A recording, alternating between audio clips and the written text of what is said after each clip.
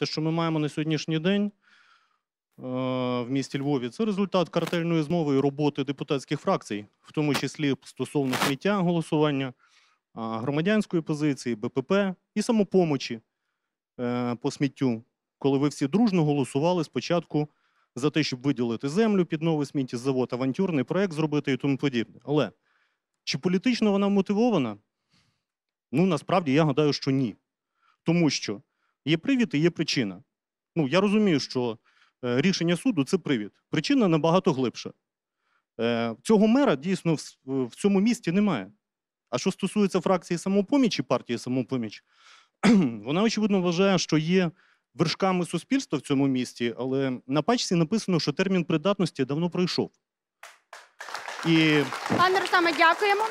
Дозволимо депутатам відповісти. Пані Вікторія, маєте що сказати? Алегорія була дуже яскрава. Ну, взагалі, мені тут, е, я так розумію, е, і по е, складу присутніх, запрошених гостей, тут такий, знаєте, клуб шанувальників Андрія Іванова. Просто Андрій Іванович в Києві не зміг прийти в черговий раз на ефір. Пане Вікторія, Займається насправді запрошували і але дуже були раді його бачити. Ну, не Але, знайшов для нас часу. Е, Знов таки я е, с- стараюся з тих емоцій, бо більшість для мене все ж таки це і останні дні, це те, що говорить громадськість.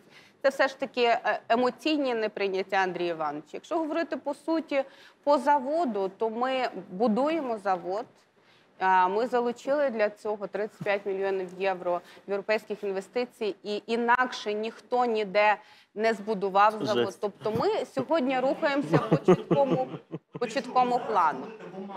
Якщо гов- мікрофону, тому що потім ми не зможемо говорити а можна мені договорити? Ні, не можна, тому що ви вже багато що негативного зробили. Ви не залучили 35 мільйонів євро інвестицій. Це кредит. Інвестиція це коли приходить приватний власник, інвестує. Ви залучили 25 мільйонів під 6% річних в ЄБРР і 10 мільйонів гранту. І плюс 7 мільйонів в перспективі з бюджету міста Львова. При цім той, кого ви поставили на цю роботу, Вадим Ноздря, керівник ЛКП Зелене місто, говорить, що це планово збитковий об'єкт. Ви десь бачили інвестиції, які будуть планово збиткові. Плюс ви ставите це в тому місці, де ви його ніколи не поставите. Ми цього не дозволимо на очисних спорудах, на пластовій 13, тому що там і так уже дуже кепська ситуація. Розумієте?